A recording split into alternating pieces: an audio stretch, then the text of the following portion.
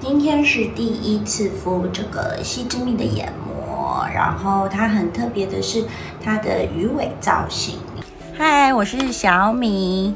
呃，因为我本身还蛮喜欢笑的原因，所以其实眼周有蛮多就是小细纹的，然后就是会比较偏干。所以呢，这次要来测试西之蜜的新商品焕活晶透眼膜。所以这个礼拜呢，我就会试试看来敷这个眼膜，看看会有什么功效。这个呢是它的外包装，你看到它小小一盒，一盒里面呢有十对，总共是二十片。它主要的功效其实是可以去放松我们眼周，再来呢，有一些人现在，呃，就是用眼过度啊，它也可以让我们的眼睛比较舒缓。给你们近看一下它的材质，这是生物纤维的材质，它的上面比较窄，下面比较宽，所以敷上去的时候千万不要敷错。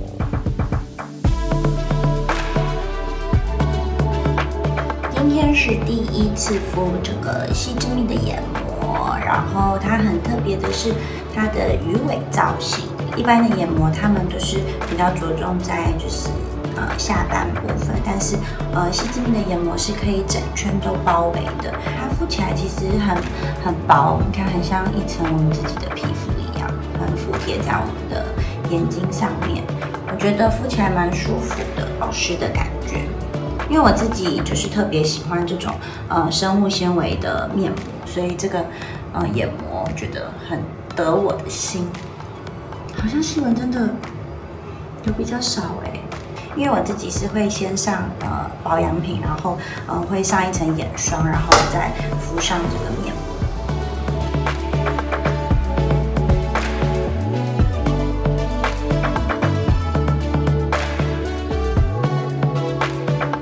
一周的时间到了，使用七天之后，看看有什么差别吧。眼周的细纹好像有稍微减少一点点，然后感觉比较保湿，有加强保湿的功效。然后细纹方面好像会觉得比较有改善。